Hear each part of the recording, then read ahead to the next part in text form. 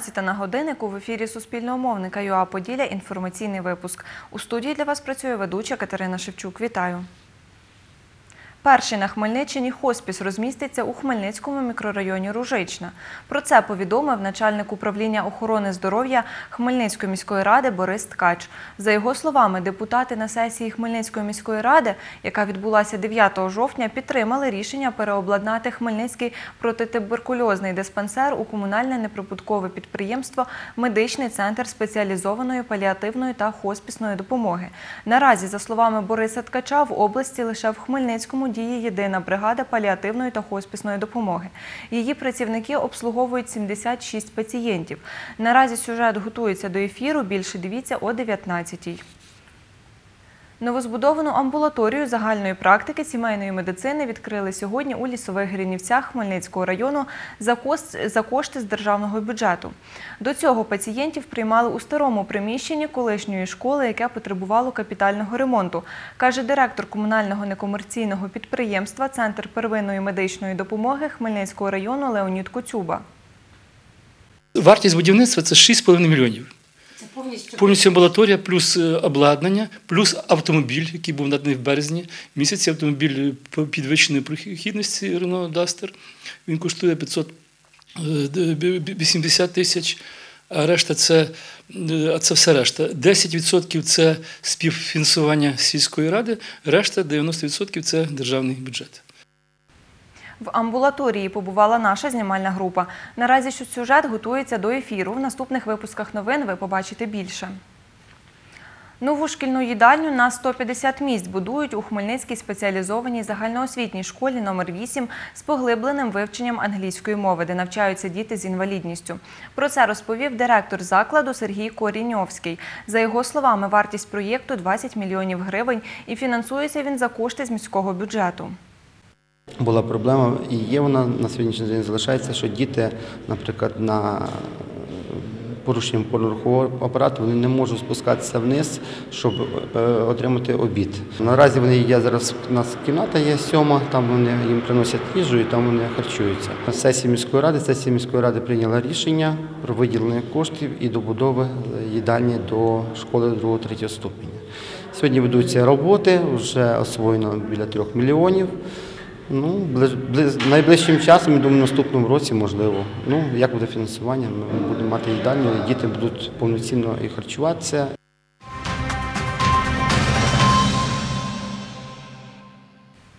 Вісім авторів пісень з Хмельниччини виступатимуть на фестивалі авторської пісні Лілі Вана Фест. Захід відбудеться сьогодні о 18-й годині та в суботу о 18-й годині в Хмельницькій обласній бібліотеці для юнацтва.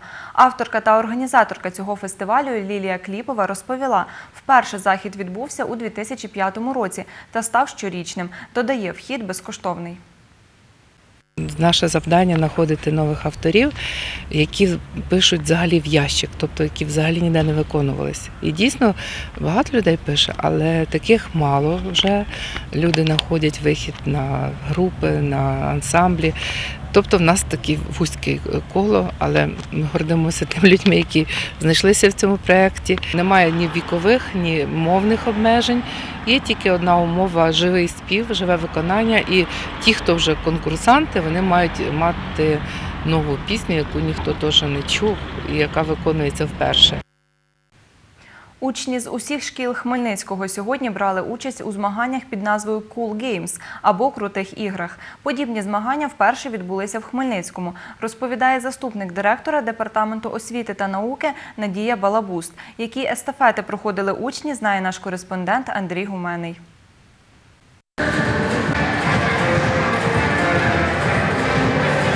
Тиждень тому в Києві відбулися світові круті ігри, участь яких взяли вісім країн світу. А сьогодні Хмельницькому стартували змагання School Games, каже заступник директора департаменту освіти і науки Хмельницької міської ради Надія Балабуст. Сьогоднішні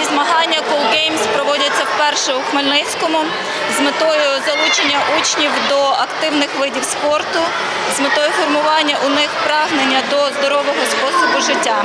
До змагань залучені учні 5-9 класів усіх шкіл міста. Всього у змаганнях представлено три вікові групи. У перший день змагаються наймолодші. Всього зареєстровано 11 команд, каже заступник начальника міського управління молоді і спорту Наталія Томосяк. Ми проводимо міський етап друге всеукраїнських змагань Cool Games. Що це таке? Ну ми з дитинства пам'ятаємо. Саме цікаве в фізкультурі було це що? Це естафети, це заряд командного духу, це той драйв, який передається завжди в естафетах. Тому тут ми зібрали найкращі ті естафети, які ми проводимо на уроках фізкультури. Е, Сьогодні е, для дитячого до молодшого дивізіону ми е, проводимо 13 естафет. Змагаються учасники по дві команди. За кількістю перемог буде визначено, які команди прийдуть на обласні змагання, каже суддя міжнародного класу всеукраїнського спортивних масових змагань Games Віталій Шкарпета. Для молодшого вікового дивізіону у нас заплановано 13 естафет. Середній віковий дивізіон це вже учні е, приблизно 6, 7, 8 клас. Кількість їх збільшується до 18 рухових активностей, а старший віковий дивізіон 26 різних естафет. І набагато складніший, ніж молодший. Щоб перемогти, потрібна злагоджена робота усієї команди, говорить Віталій Шкарпета. Дані змагання не лише на швидкість, на логіку, на командний дух, на співпрацю в команді, адже помилка одного вартує помилки для усієї команди. На першому старті команда школа номер 1 програла через погану командну роботу, каже учасниця змагань Вікторія Весела. Хлопчик мав е, бігти з дівчинкою в кінці е, е, двоє, а побігла дівчинка, а потім побіг хлопчик. Найважче давався вправа біатлон варіант 3. Ділиться учасниця змагань Анастасія Дідор. Стояла така фотозона, можна сказати, і ми мали перекинути м'яч через е, неї, і там ловили. І Якщо м'яч е, попав в корзину, то, то, е, то бере той, що кидає, він стає назад, бере а той, що був з корзиною, він бере м'яч і передає другому. Першу перемогу здобуває команда школи номер 12. Учасник змагань Володимир Рудницький розповідає, виступив ще краще, аби були всі з одного класу. Ми от, я з 5 Б, і там ще одна дівчинка з 5 Б, він з 5 е, а, а, е, і там ще одна дівчинка з 5 А. Ми і так е, вже е, сильні маємо стосунки, такі дружні. І того, якщо ми ще були в класі з одному класі, то ми би були, е, ми би всіх виграли. Останній етап змагань Games відбудеться 25 жовтня. Андрій Гюменний, Юрій Чорний. Новини на Спільному. Хмельницький. Більше сотні спортсменів з 15 областей України візьмуть участь у п'ятому інтернаціональному кубку з бодібілдингу, фітнесу, моделінгу та дитячому фітнесу. Він відбудеться у будинку офіцерів на вулиці Проскурівській у Хмельницькому в суботу, 19 жовтня об 11 годині. Президент громадської організації Глобальна федерація силових видів спорту Руслан Сідлецький розповів, можна зареєструватись попередньо або безпосередньо перед змаганнями з 9 до 10 години. Захід розпочнеться з дитячого фітнесу, далі категорія моделінг, після бодібілдинг. Руслан Сідлецький додає, Глобальна федерація силових видів спорту заснована у 2013 році. Відтоді проводять змагання. Далі розповів про нагороди. Ми нагороджуємо е, абсолютних переможців е, такими поясами, як в боксі. Е, В нас 15 абсолютних категорій, 15 поясов для переможців абсолютних категорій, 37 категорій і 40 е, статуеток для переможців кожної категорії. Е, Вперше зробили статуетку, ну, трохи попозував.